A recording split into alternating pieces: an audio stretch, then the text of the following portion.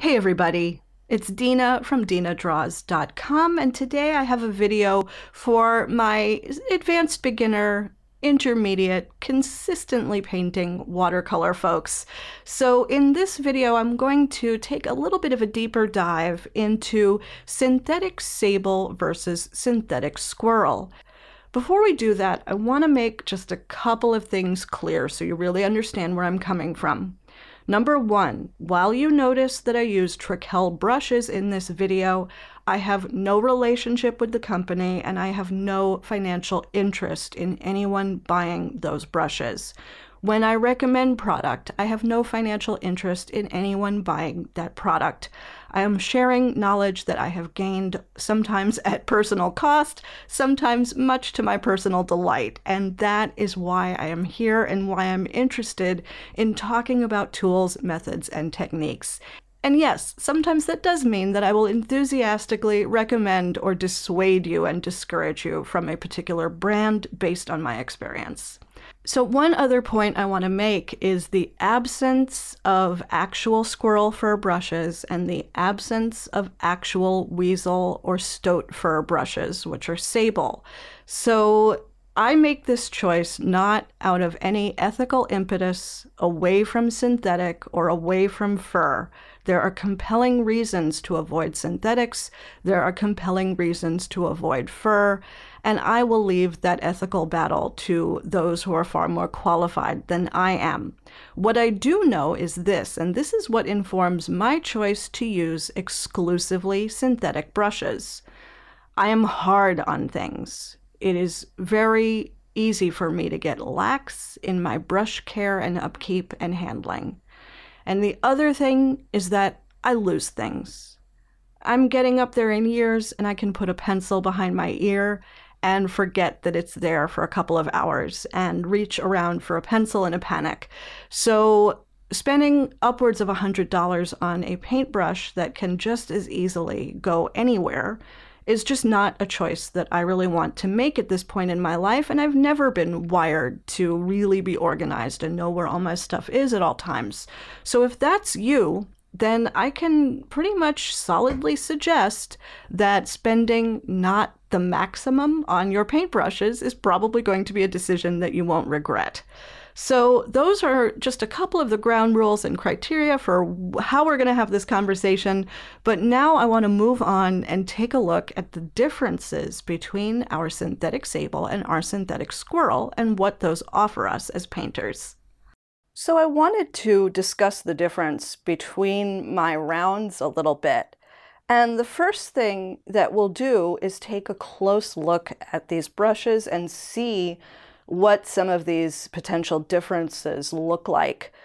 So as we look at the, my brushes, I have two of each type. I have two that are faux squirrel and I have two that are faux sable. And these brushes over here are the faux squirrel. And I want you to take a look at the round shape in each instance here. And you'll see that there's just a fuller belly to this brush. The tip is rounder and wider. That's the first thing that's visible.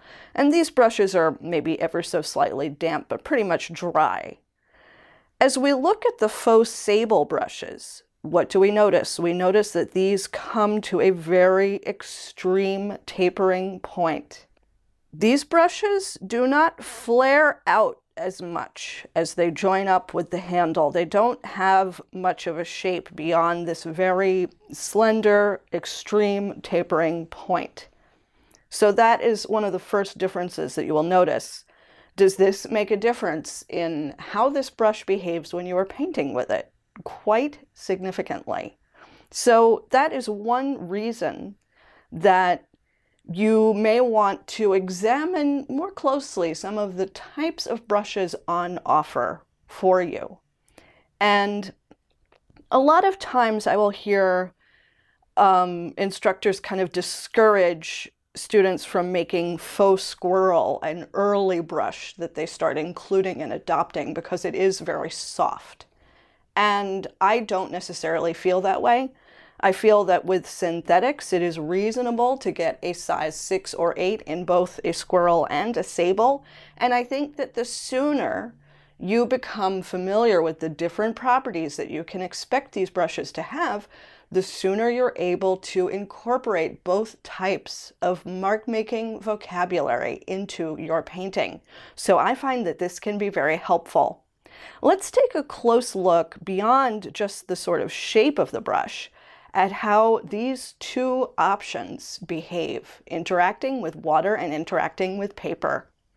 So I've just prepped a little bit of a wash in an ultramarine blue over here. And what I'm going to do is saturate my faux squirrel brush and I'm just going to put this wash over my paper until my brush is dry. So I want to just exhaust all of the water and all of the paint that I have within this brush load. So this is a very wet, kind of heavy brush load. It's a little bit wetter and heavier than I might go in with if I just wanted a flat wash of color. But you see that I get pretty extensive coverage. And so that is my size 8 faux squirrel doing its thing. I'm going to do the same thing using my size 8 faux sable, and let's see what happens.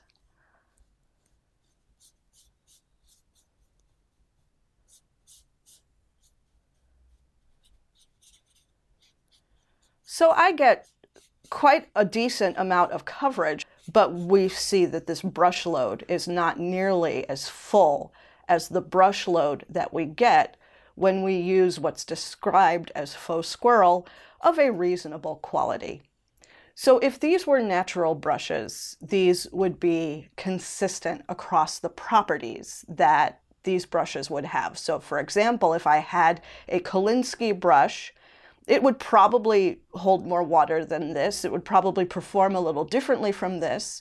But if we compared that with a natural squirrel brush, the squirrel would hold more water and give a bigger area of coverage. The sable would hold less water and give a smaller area of coverage. So these are some of the things to think about why would you want to have one of each type of brush or even more? This kind of starts to answer that question a little bit. There are times when you want to cover a large area in a flat, consistent way, and we get flat and consistent in watercolor by not messing around with it, by just putting down our paint and walking away. So this thirsty brush that holds a lot of wash leads us into the direction of being able to do that fairly easily. Sometimes we want a lot of precision. We want detail, we want shaping, and we want to be able to really put precise marks down on our page without having to reach for three different sizes of brushes to do it. And that is the strength of the sable or faux sable brush. So let's look a little bit more at that in detail because we see what each of these brushes will do just in a wash scenario, but what kinds of marks can we expect to get in each case? So once again, I'm loading my squirrel brush, but this time I'm not loading it to the max. I'm just putting some wash into this brush, tapping it along the side of my well, and that's kind of a default neutral, how I would typically load a brush if I wasn't being really specific and deliberate about doing it in some unique way. So what kinds of variety do I get with thick and thin mark making, thick and thin strokes using the squirrel brush? What do my sort of thick and thin pulsing lines look like in this case? So that is what they look like or can look like. Let's do the same with my faux sable. And I'm just going to do that same thing, just sort of a thin to thick pulsing line that goes thin and then thick again. Just seeing what my brush will do. So we notice right away that the different loading comes into play, but we also notice that the thick is not as thick, but the thin is much more thin. We have some real precision. So this faux sable brush gives me the possibility of some beautifully nuanced, detailed, thick to incredibly thin and tapering results. I would say that the difference is the ratio between the thinnest thin and the thickest line is much wider than it is with the squirrel. But the squirrel brush gives me some really nice qualities too. So, okay, so its thin aspect is not as interesting. It's not as detailed or precise, but it still gives me a nice thin line. And I get these really beautifully gestural abilities to just flick these um, really weighty, nice, thick gestural strokes.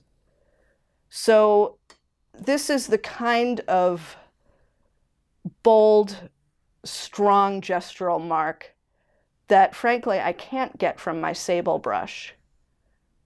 So I can get these really gestural and thick and fully decisive kind of marks from this brush. So that kind of immediate, gestural, decisive, like that kind of stroke is not really the forte of a sable brush or a faux sable brush.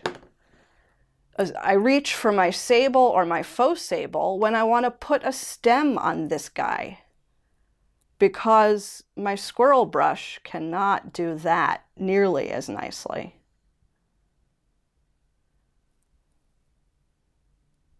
So having both of these tools at my disposal, in my opinion, is really the ideal.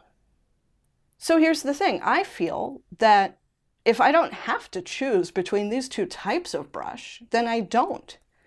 If somebody is standing over my shoulder saying you can only have one size 8 for this painting, then I'll pick. And which one I'll pick is anyone's guess on that day of the week.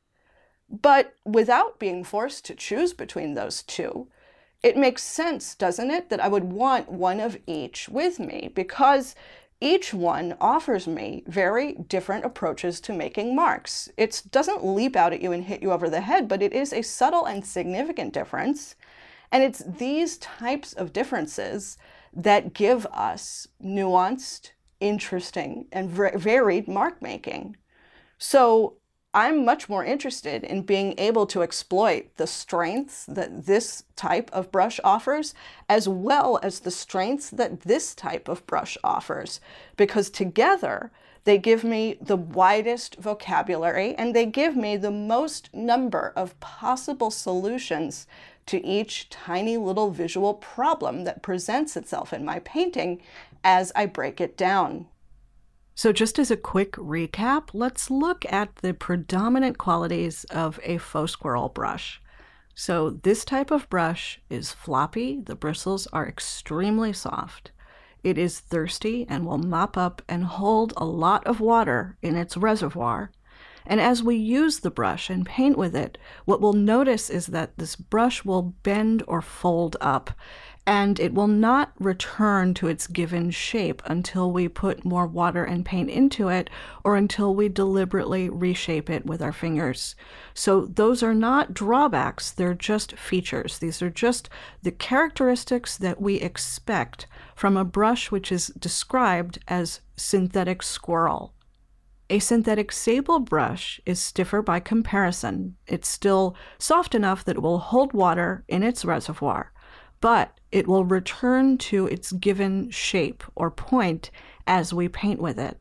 So this quality of returning to form is what we describe as snap. It returns to form as we use it, and it gives us more control and more specificity in our mark it does not create as expressive a mark without us going to some trouble to make that mark expressive, but it does give us a more consistent and more predictable mark than a brush which is described as faux squirrel.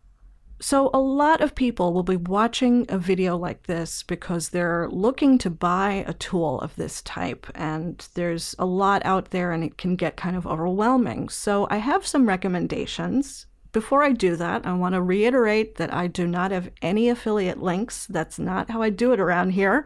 So, what I get from you buying any of my recommendations are just good vibes that I've steered you towards something that I at least think is not going to frustrate you.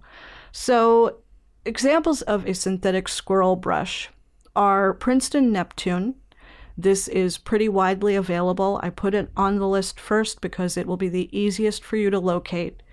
And they're nice brushes at a decent price point. They do the job of synthetic squirrel pretty well. Trekell is a brush company that sells exclusively through its own website so it can be a bit harder to track down. However, I really like their synthetic squirrel line called Onyx to the point where I go to the extra trouble of ordering my brushes specifically from them. These are priced decently. They're a bit higher of a price point than the other recommendations on this list, but they are very well made, and the experience of using these brushes is just very comfortable those sort of intangible things about what makes a brush feel really good to use just really kind of work for me with their version. So, another option if you don't want to do this targeted shopping, if you want to do a little bit more of a one stop shop, is Creative Mark brushes do something called Mimic, where they do faux versions of all kinds of natural fibers and bristles. So, their squirrel version, they're just fun brushes. They always put a smile on my face when I use them. And the price is normally competitive with Trekell Onyx, but we're heading into the holidays and it should be easy to grab up a set of these at a deep discount. So, Creative Mark Mimic Squirrel through Jerry's Artorama is a really good and fun option in this category. Now, a lot of people might be wondering about Silver Black Velvet. This is an immensely popular, highly recommended brush that has a huge following, and they look great. I think they're probably amazing brushes. I don't include them here because they're a blend. So they blend squirrel fur with synthetic. So this beefs up the squirrel fur a bit and it still gives you this really beautiful, articulate, and very um, really just a nice, elegant painting experience from what I see. I just don't think it's fair to include that type of brush in this category, and those who are avoiding fur will not want to use this particular tool. So, synthetic squirrel is pretty niche. It's really for watercolorists mostly. Synthetic sable is kind of for everybody, so it's all over the map. So, these are three recommendations that I think work with watercolor and are good and fairly easy and accessible. So, the first of these is Princeton's Aqua Elite. I really like this line because it is very precise, very elegant, really just feels good to use and gives a really good consistent result. They're a bit pricey in terms of what you can get for a synthetic, but I find that this is one of those instances where the price and the quality kind of mesh together pretty well. Trekell Protege is very similar to Princeton Aqua Elite. They're a little bit less expensive. You can get them directly from Trekell. So again, you have to go outside the sort of big box art store realm to get these brushes, but I use them and I really, really enjoy using them a lot. And I think they work great with watercolor. If you want something that is widely accessible and perhaps a little lower in price point, then Princeton 4050 is a brush that I can strongly recommend, and it should be really easy for you to find. Princeton also makes a range called Velvet Touch, which I think is pretty similar, and the Velvet Touch line comes in lots of different specialty shapes.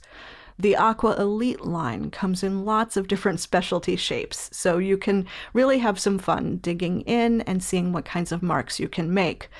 The 4050 is just a great all around brush that has that fundamental characteristic of snap. So you paint with it and it will snap back to shape. At the same time, the 4050 is soft enough that it will hold water. So this is just a really good, solid, all-around watercolor brush that's a little bit better than a total entry-level brush, but a little bit less expensive than some of these more sort of professionally oriented options. So those three options should get you off to a great start if you're looking for a synthetic watercolor sable. So if you have watched to this point, or if you have skipped to this point, either way, thank you so much for taking a look at this video, and I really hope that this content has helped you understand your tools and make some decisions about them that are valuable and relevant for you. If you like this kind of material and would like to see more of it, leave a comment to that effect, as well as hitting like and subscribe and getting notifications. I'm still trying to figure out how I can best help and serve you guys with the information that I've accumulated for what it's worth. I've had a great time looking at brushes with you together today and painting with you, and I cannot wait to do it again. I appreciate you watching so much, and until next time, take care.